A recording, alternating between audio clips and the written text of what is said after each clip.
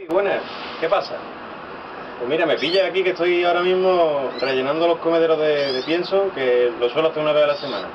¿Aún no conoces el pienso? ¿No sabes por qué lo uso, qué características tiene y cuál es el que uso yo en concreto? Pues ya sabes. Dentro vídeo.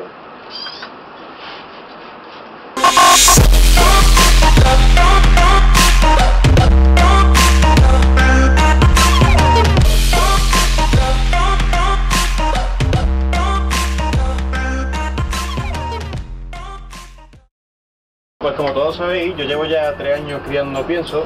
La primera vez que, que me enfrenté a la cría de canarios, lo primero que dije fue, bueno, ¿y la alimentación? ¿Eso cómo va? Porque yo siempre había visto semillas y demás. Y me puse a investigar un poquito y ya vi que había criadores que tenían pienso. Entonces yo me decidí a usar pienso. La primera marca que probé no me gustó. Pues hacía mucho, mucho polvo a la hora de comerse el pienso. Los pájaros hacían mucho polvo, desperdiciaban mucha alimentación. No me gustaba. El siguiente que tuve, que ahora después enseñaré cómo venían los granos de pienso, tenía diferentes colores y los pájaros tienen lo que se denomina querencia, es decir, que se acostumbran a, a hacer cosas como de manera automática. Por ejemplo, si hay un pájaro que le gusta nada más que el color verde, solo comerá pienso. Tiene un solo color, el grano más pequeño, y este es rojo, porque solamente deja los colores rojos para que me los coma yo. Así que bueno, dentro de los resultados que me han hecho pasar. A lo mejor un canario que dice, macho, es que el canario solo se come la, la linaza, el cañamón y el negrillo, y el alpiste no se lo come nunca, y tiene los comederos llenos de alpiste y no de otras semillas.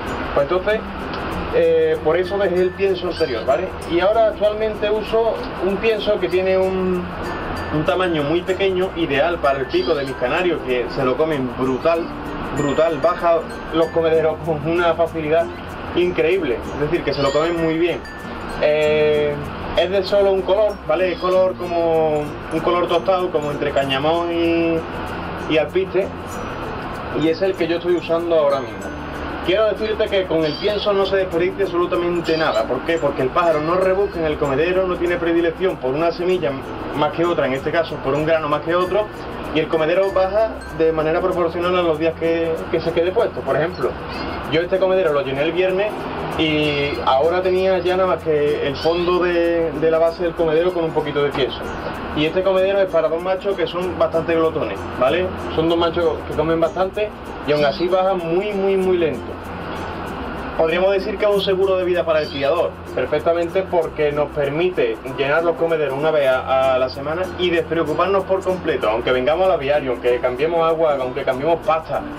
Todo eso, aunque lo hagamos, no tenemos que estar soplando, soplando comedero y demás, aparte con este tipo de comedero que era muy fácil, cómo se rellenaban, o, o dejo un enlace por aquí, que ya sabéis todos cuál es, pero bueno, por si alguno se une nuevo, que conozca cuál es el comedero que yo estoy usando, que era muy fácil llenarlo, limpiarlo y, demás. Entonces, bueno, eh, otra de las cosas por las que yo uso el pienso es porque yo sé la proteína y la grasa, los minerales, la fibra que comen mi pájaro desde que uso el pienso. ¿Por qué? Pues que un, siempre que un pájaro solamente coma pienso, que en mi caso comen pienso, pasta mórbida, verdura, perla, eh, pasta húmeda, comen diferentes cosas. Te dejo un vídeo por, por aquí de qué pasta húmeda estamos comiendo ahora, yo no, los pájaros. Eh, lo que yo me aseguro es que si este pienso, por ejemplo, que yo uso ahora, tiene un 14% de proteína y tiene un 9% de grasa, yo sé que el pájaro cada vez que pique en el comedero está comiendo un 14% de proteína y un 9% de grasa. Así me permite llevar un control estricto cada temporada de la cantidad de proteína y de grasa que están comiendo. Otra de las cosas importantes es que cuando consumes pienso, el aviario está completamente limpio, porque no se produce ese desperdicio continuo de semillas al suelo, esas bandejas llenas, llenas, llenas de semillas peladas, que termina siendo foco de cocidio, foco de bacterias, foco de hongos, si cae un poquito de agua. O sea, que nos está previniendo un poco los problemas que luego nos encontramos en la cría y que tanto daño nos hacen. Una de las cosas fundamentales también por las que yo uso el pienso es que yo me cansé, me cansé de que comprases mixtura y como te descuidaras, pues tenía ya la polilla, tenías que tirar el cubo entero de mixtura. Eh, me cansé también de las enfermedades bacterianas que vienen en los cultivos. Una vez que se cosecha la semilla, la carga bacteriana es increíble. Un producto que está relativamente procesado, como puede ser un pienso, que no es que esté excesivamente procesado, simplemente son semillas trituradas, mejoradas, con vitaminas, minerales y demás, que, la carga bacteriana ha descendido. ¿vale? La conservación la que viene esta bolsa, por ejemplo, ahora después hablaremos de, de este en concreto, es brutal. O sea, brutal. El olor que desprende a matalaúvas, a la semilla de anís es muy rico. Luego la, bolsa tiene este papel que es reflectante de la luz, es decir, el calor nunca penetra la bolsa. Eh, puede darle la luz, puede darle un poco fuerte de calor, pero tú metes el dedo y la bolsa está fría. Es que la bolsa está fría. Es increíble la conservación que tiene. Yo se lo he descubierto hace poco. No tenía yo ni idea. Y bueno, si quieres, si te está gustando esto, pues te voy a explicar qué pienso uso yo. El pienso que uso yo es el pienso ProLife, ¿vale? Es un pienso de mantenimiento muda que viene muy bien para este mm, tiempo en el que estamos, de un 14% de proteína.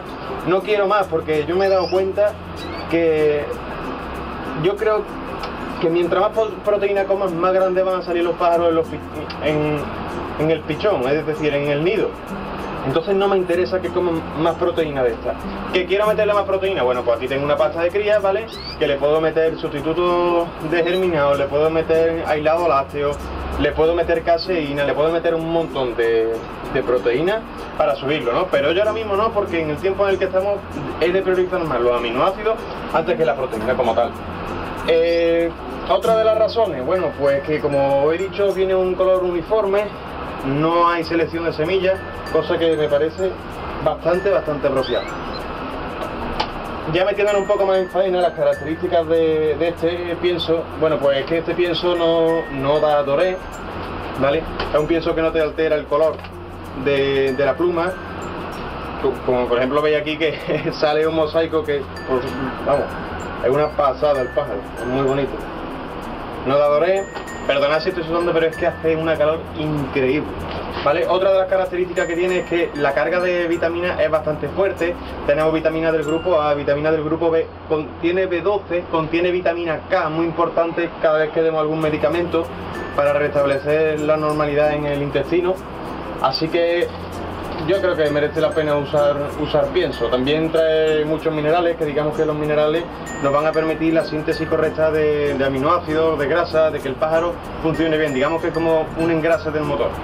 ¿Vale? Hay ciertos minerales que son importantes y esto los contiene. Contiene también prebiótico y probiótico, antes de que se me olvide, porque la mayoría de los productos suelen contener el prebiótico, pero no el probiótico digamos, que uno es el alimento para las bacterias positivas que debe haber en el sistema digestivo de nuestros padres. Pues nada amigos, espero que, te haya gustado, que, que valores pasarte al pienso.